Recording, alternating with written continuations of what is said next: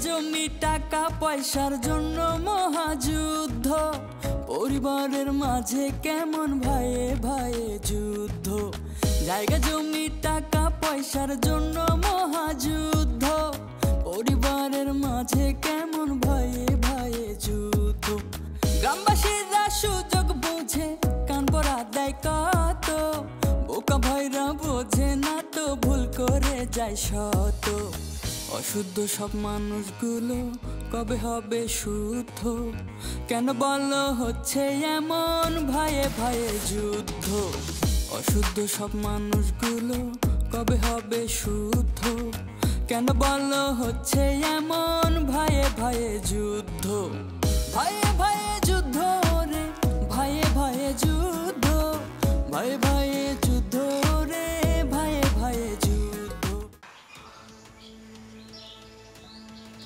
মায়াটা কি খুবই সুন্দর?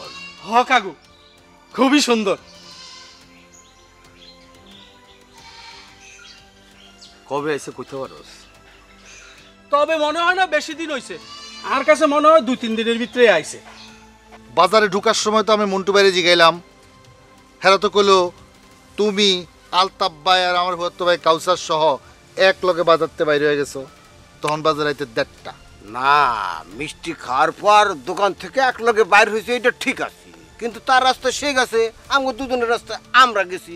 এখন তারপর কি হয়েছে সেটা তো আমার জানার কথা না। আমি তো বাবা এই ব্যাগটা হলে দশ মিনিটও হাঁটতে পারব না।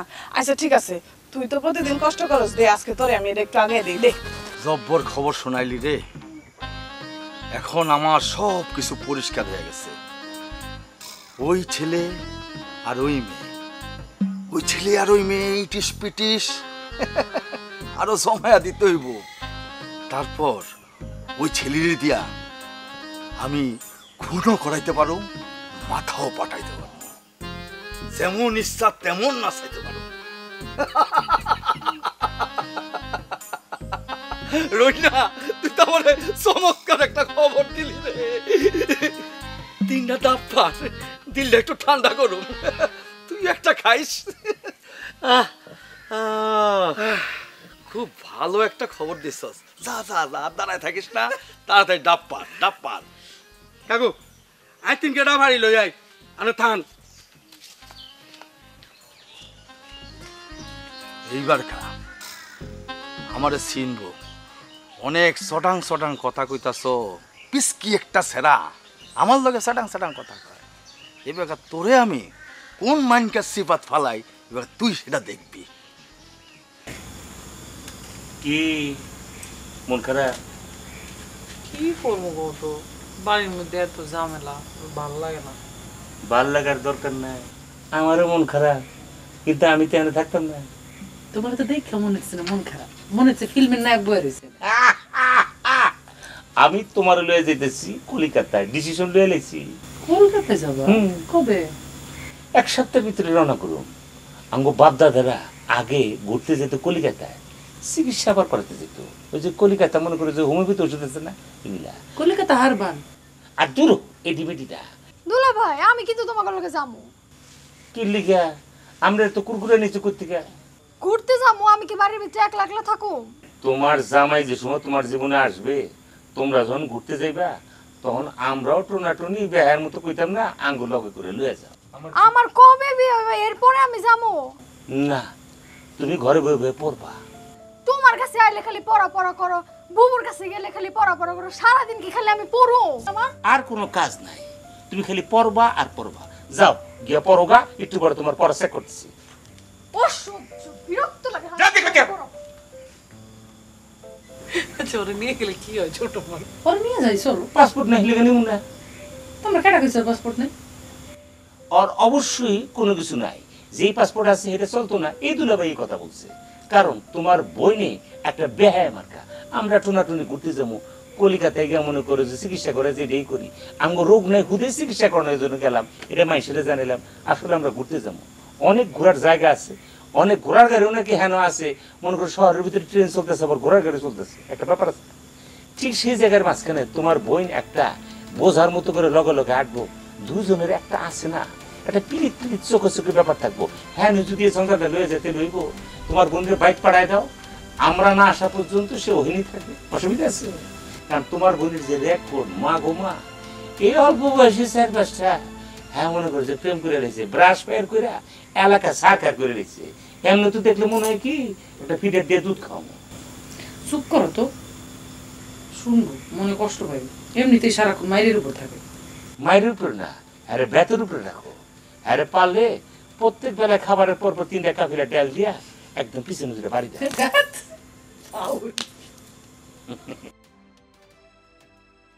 তাইলে হইল কি স্বাধীনতা রক্ষার চেয়ে স্বাধীনতা অর্জন করাই কঠিন। বুঝি নাই। আমাদের ভারত আরে ভারতবর্ষ পর্যন্ত যাস কেন? টাইম একটু নিচ্ছিলাম আমার বাংলাদেশে আমাদের বাংলাদেশ দীর্ঘ নয় মাস যুদ্ধ করে অনেক কষ্ট অনেক সাধনা অনেক ত্যাগ তিতিক্ষার পরে স্বাধীন হয়েছে হ্যাঁ হ্যাঁ যুদ্ধ তো হয়েছি স্বাধীন তো হয়েছি তা এখন কি? এখন রক্ষা করতে অনেক ঝুঁকি যায় ঝামেলা অনেক অত্যাচার দেশীয় পররাষ্ট্র নীতি অনেক কিছু আছে এইসব ওরে আল্লাহ রে আমি এত নীতি এত জিটি এত মানে পেস আমি বুঝি না তুই একটু সহজ করে আমার কত। আইতেছে। এই যে আপনার মানে আমাগর যে ধন সম্পত্তি আছে সহায় সম্পদ এই যে বাড়ি গাড়ি এই যে জায়গা জমি যা কিছু আছে আমরা তো এ তার কাছ থেকে মানে বিভিন্ন জনের কাছ থেকে বিভিন্নভাবে বিভিন্ন কৌশলে মানে ধার দেনা কর্জ সুদ চক্রবর্তী হারে বিভিন্ন উপায়ে জাল জালিয়াতি কইরা লিখা নিছে আপনার নয় মানে আমাগো নামে। হ্যাঁ তো কি হয়েছে এখন হয়েছে এগুলা রক্ষা করতে হইবে। তার কারণ কি তা জানেন? এগুলার যে ওয়ারিশ আছে, ওই সম্পত্তির, তারা একটা না একটা সময় মাথা ছাড়াই দিয়ে উঠবো। ওইটা বিভিন্ন উকিল মোকদ্দমা করব আপনার নামে। এই জমি নিয়ে টানা হাসটা করব। আপনাকে নিয়ে চিনিবিনি খেলার চেষ্টা করব। এই জায়গায়। এই জায়গায় আমাদের আগে থেকেই সতর্ক করতে হবে, সতর্ক থাকতে হবে। আমাদের আগে থেকেই প্রস্তুত হইতে হবে। আমাদের যে জায়গা, জমি, সম্পদ আছে এগুলো যেন কেউ চোখ দিতে না পারে। তার জন্য কি করতে হইব? টাকা লাগবে। টাকা নিয়ে উকিল মুক্তার ব্যারিস্টার বিভিন্ন থানায় বিভিন্ন কোর্ট কাছারি আদালতে যাইতে হবে সব কিছু সজাগ রাখতে হবে চোখ কান খোলা রাখতে হইব। তার মানে কি হইল? সম্পদ রক্ষা করা খুবই কঠিন অর্জনের চাইতে। তুই তো আমার একেবারে খুব পেসির ভিতরে পালাই দিলি। মানে সম্পদ আবার ওয়ারিস আবার মামলা মোকদ্দমা এ তো মেলা টাকার কাজ। টাকা নিয়ে আপনি ভাইবেন না। টাকা কিছু যাইব কিন্তু আইব অনেক বেশি অনেক অনেক বেশি আইবো। হ্যাঁ? হাসাই অনেক বেশি আইব। কিন্তু এখন কি করতে হইব? এখন করতে হইব কি সময় মতো। বিভিন্ন কায়দা কৌশলে চোখ কান খোলা রাখা একদম মানে সজাগ পায়ে ধাপ ধাপ করে আগে যেতে হবে সামনের দিকে। পিছনে তাকানোর টাইম নাই। পিছন থেকে কিছু ঝুঁকি ঝামেলা আসব টাকা ছুটতে হইব। অল্প পরিমাণে টাকা। ঠিক আছে তোর কথা সবই বুঝলাম। কিন্তু আমরা যদি মামলা মোকদ্দমাটা যদি একবারে করি। মানে আমি যদি আরও কিছু সম্পত্তি মনে কর বজলু ফজলুর সম্পত্তি আছে তারপরে আরও ওই যে আমগো ওই যে হ্যাঁ। ওগুলি কি না? একবারে যদি মামলাটা করি তাহলে পয়সার অঙ্কটা একটু কমে আসবে না? আরে কাকারে আপনি যখন টাকার অ্যামাউন্ট দেখেন তখনই লেবুর মতো চিপতে থাকেন কীভাবে অ্যামাউন্ট কমানো যায়? আরে অ্যামাউন্ট কীভাবে বাড়ানো যায় সেইটা চিন্তা করেন। কাকা ধরেন যখন আপনার ব্যয় বাইরে যাব তখন আয়ও বাড়তে থাকবে। যখন আপনি ব্যয় কমাইতে চাইবেন তখন আয়ও কমতে থাকবে। তার মানে হইল কি? আপনার টার্গেট যতই বড় আপনার সাকসেস ততই সামনে চলে আসবে। তাহলে আর কথা কি? তাহলে কাকা হইল কি? আমরা এটা পরিষ্কার যে ধন সম্পত্তি অর্জনের চাইতে রক্ষা করাই কঠিন। তাহলে পঞ্চাশটা হাজার রেডি রাখবেন কাল বিকেলে এসে আমি নিয়ে যাব। পঞ্চাশ কেন? পঞ্চাশ কেন? কত তাইলে? পাঁচ। আরে কাকা কোথায় পঞ্চাশ আর কোথায় পাঁচ? আচ্ছা ঠিক আছে আপনি আমার পনেরো হাজার টাকা দিন আর কোনো কথা নেই কাকা আমি গেলাম। আসসালামু আলাইকুম।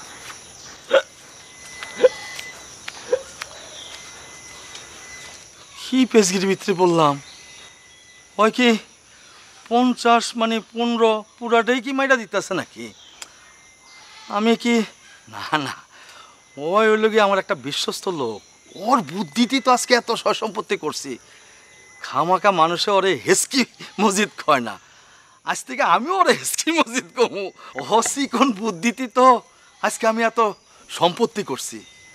না না ওই মূল্যবান কথা কইছে। সম্পদ রক্ষা করাটাই কঠিন। আরে টাকা যাক। পনেরো হাজার টাকায় না গেছে। যাক। বাহুলি গেছে করে ওই পান বিরতি ওরে আজকে কি কমু আর পান আমি খাওয়াইতেছি ওরে জোতাতে না পিটাই বাতি খেতাম ভাই আর আরেকটা কথা এই যে আজকে কোর্টে গিয়ে আমরা হারি আর জিতি এটা লয়ে কিন্তু কোনো রকমের চিন্তা ভাবনা টেনশন করা যাবে না কিলিকা কইতাম লাল বাবা আমগুলো যে কবুতরের কথা কইছে ওই নয় দিনের কবুতরটা আমাকে যেমন হাজির করতে হবে ব্যবস্থা করতেই হবে কই গেছিল জুতা তা পিটিয়ে কি দেখতে পারাইলেন ওরে সোহান আল্লাহ হুডে হুডি পাংসা পাই যাই না ফ্যাচর ফ্যাচর ওই মোর এক বন্ধুর বাড়ি গেলাম খোঁজ নিতে মোর বন্ধু বিমালা কৈতর। জ্যাকসন কামড়া লাগে। বিমালা কৈতর পালে।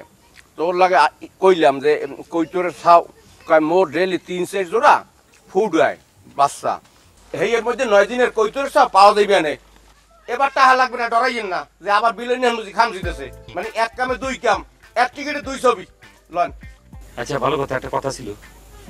ওটা পরে দিস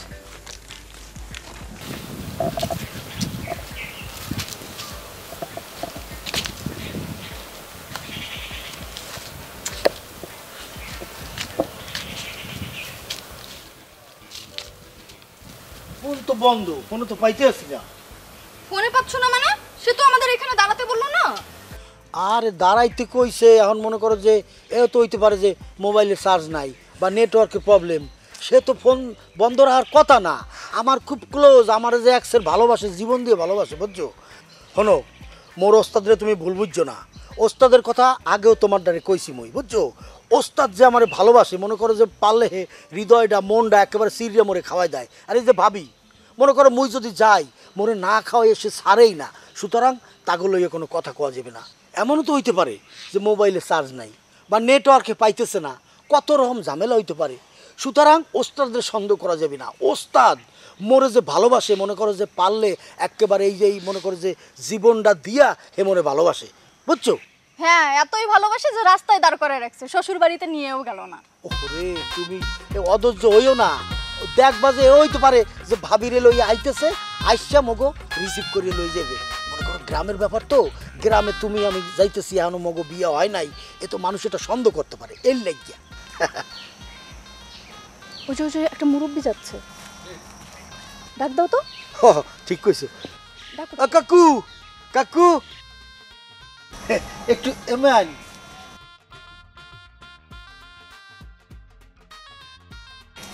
আসসালামু আলাইকুম। ওয়ালাইকুম সালাম। তা তোমরা এই ভর দুপুরে আমার এই বাগান বাড়িতে কি করতেছো? না ওই যে ঘটনা হয়েছে কি? ওই যে বরিশালের নসের হে আবার বিয়ে করছে আপনাকে পাশের গ্রামে বুঝছেন? তো তার কাছে মোরা আইসি বেড়াইতে। নশের তার সাথে তোমাদের কি সম্পর্ক? না মানে মনে করেন যে হে আমার আত্মীয় মানে আমার ভাই হয় ভাই। কেমন ভাই? যে ভাইয়ের শ্বশুর বাড়ি চেনো না। না মানে ঘটনা হয়েছে কি? ভাইরে যখন ফোন করছি সে বলছে কি শোন তুই একজন অতিথি লইয়া আইতে আসো তোর একটা মানিজ্যত আছে না তোরে মোরা রিসিভ করে লইতেছি এর লেগে ভাবিরে লইয়া আইতে আসে কিন্তু অনেকক্ষণ মোরা দাঁড়াই রইছি এখন ফোন দিয়ে দেই যে ভাই ফোন বাজে না ফোন বন্ধ। এই হলো সমস্যা বুঝছেন? তোমার নাম কি মা? পুতুল। বাহ কি সুন্দর একদম পুতুলের মতো। তা তোমার দুজনের মধ্যে কি সম্পর্ক? না মনে করেন যে ওর আর আমার বিয়ে একসের ফাইনাল হয়ে গেছে বুঝছেন? দুই ফ্যামিলি রাজি হয়ে গেছে। এখন মনে করেন যে খালি সময়ের বাকি যে কোনো সময় ডেট করিয়া মোরা বিয়ে করিয়ে ফেলাম। ওরে একটু লই বেড়াইতে আইছি। পালাইয়া বিয়ে করতে আহ, না না না না কাকু না মিথ্যা কথা মিথ্যা কথা। ওর দ্বারা জিগাই দেন। আমার লগে সালাকি করো না। আমার তো চিনো না। আমার নাম হলো গিয়া কাদের মোল্লা। এই গ্রামের সবাই আমার কথায় উঠে আর বসে উঠে আর বসে। আমার লাগে বেশি সালাকি করো না। পরিষ্কার করে সব খুলে বলো। এই রং সঙ্গে জামা কি লাগে পড়ছো হ্যাঁ? কেন কাকু আপনি জানেন না মুই তো হিরো ইলিয়াস কাঞ্চন চুপ মিয়া এখানে বেশি ঘোরাফেরা করো না এলাকা বেশি ভালো না বুঝছ? আর তোমরা দেখলে খুব সমস্যা আছে। যাও। এই রাস্তা ধরে চলে যাও ওদিকে নরসরের শ্বশুর বাড়ি চলে যাও যাও। জি কাকু আসসালামু আলাইকুম।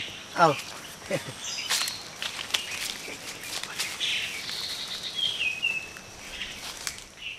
ইলিয়াস কাঞ্চন হইব। বেটা, একটা ফাউল। ইলিয়াস কাঞ্চনের মতো দেখা যায় বেটা তোরে। কিন্তু বিষয়টা বুঝলাম না। নৌসরের ভাই নৌসরের আত্মীয় বরিশাল থেকে আসছে, কিছুই তো জানলাম না। এত কিছু নিয়ে ঘা, মাথা ঘামালে চলে? তা মাথাটাই বিগড়ে দিছে। দায়িত্ব তো আমার ছোট ভাই বজদুর দেওয়া নিচ্ছে। একই জমির কেস দুই ভাইয়ের। আর অবশ্যই এইভাবে নেওয়াটা ঠিক হয় নাই এটা উচিত হয়নি। তারপরে আমার কথা কি আমি তো আমার হিসাবে পাও না মানে জমিটা এমনি লিগেলি পাই। এই জায়গা থেকে আমারটা কদ্দুর কেমনি কি দেখতেছে? সেইটার কথা যে গেলাম আর কি। কি ব্যাপার? এত সুন্দর একটা রোমান্টিক গান গাইলাম। তোমার মন খারাপ কা? মন খারাপ হবে না। নওশরী ভাইয়ের সাথে দেখা হলেই তো নওশরী ভাই তোমাকে ঢাকায় নিয়ে যাবে নায়ক হওয়ার জন্য। তো বললাম যে কই বলছে না আমি ফোনটা কুড়ে আরে ভাই আপনি কি চিটার বাটপারি করেন নাকি? আবারও দেই কথা বলতো চিটার বাটপারি মানে? মানুষে টাকা পাই নাকি আপনার কাছে হ্যাঁ, পাইলে পাইছে মিয়া। পাইলে পাইছে জান আমরা বিয়ে তো ঠিক হয় না একটু সময় দাও সবকিছু ঠিক হয়ে যাবে। এত পাগলামি কেন করতেছো? আরে বিয়ে ঠিক হয় না তো ঠিক হইতে কতক্ষণ? আমি তোমার নিয়ে সেই রিস্ক নিতে পারব না।